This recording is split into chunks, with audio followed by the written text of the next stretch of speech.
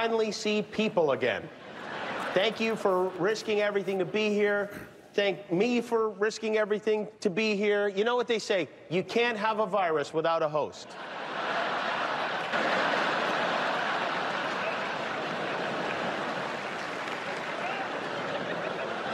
hey, was that me?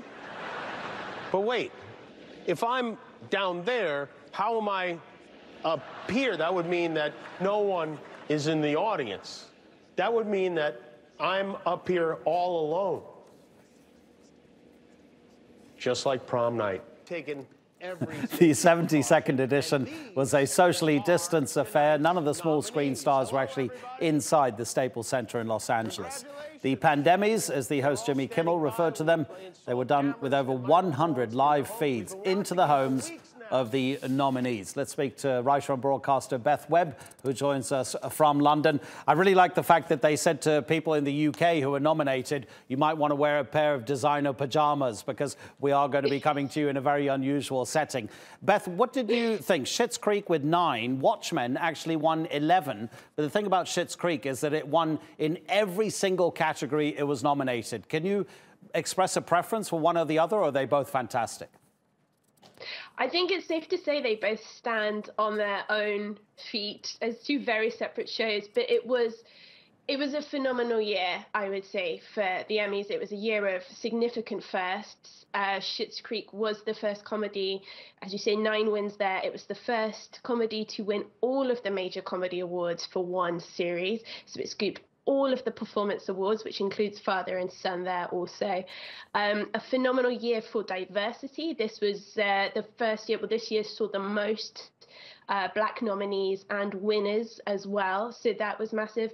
And uh, as we say, Zendaya's win was historic in that she was the youngest uh, winner for her category, the second black woman to have ever won.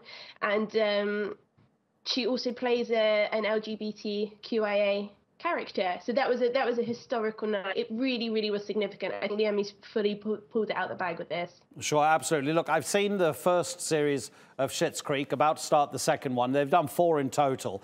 It's a pretty standard comedy, albeit the writing is great and the acting is wonderful. Watchmen is the thing that really intrigues me. First of all, I haven't seen it.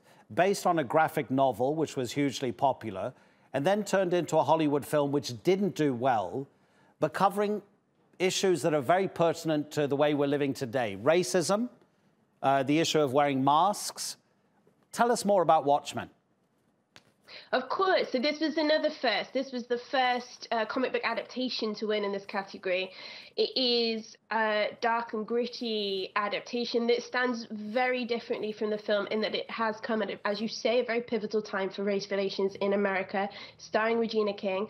If you get a chance to see her acceptance speech, you'll see she's wearing a Breonna Taylor uh, t-shirt there as well. So she is she is very a very prominent voice um, for protest and race relations as well. It's just it's arrived at a, phenomenal time. It's a very unique reading of the book. It's gritty. It's got very dark comedy in it. It's um it's sensational. I definitely think that is the main evening of, of that evening. If you haven't seen Watchmen, um, watch one.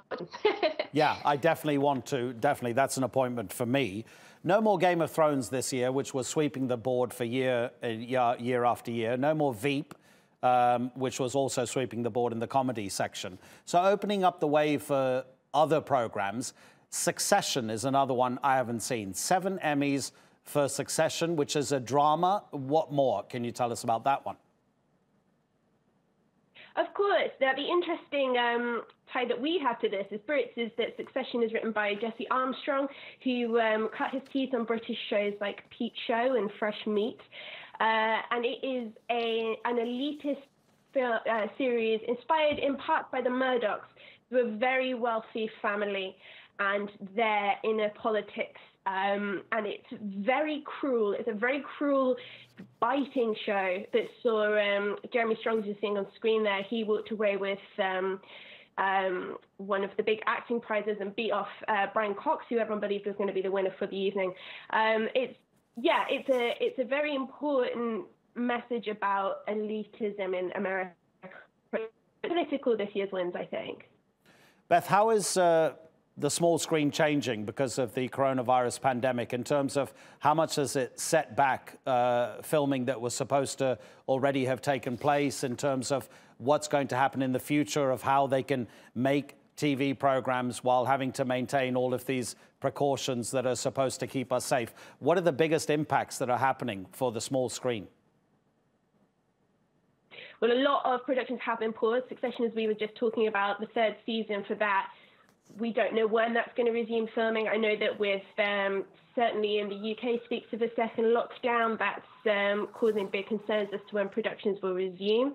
Watchmen were pretty safe in because there was only one uh, series there, but um, I think we're going to see whereas a lot of shows have been resourceful in how they're coming back around and how they're starting to film again. I know that film uh, shows like Riverdale have started using mannequins in their um, filming as a way of getting around certainly intimate scenes. Uh, it might be that we're facing further lockdown precautions, which could really stunt TV production for the next few years.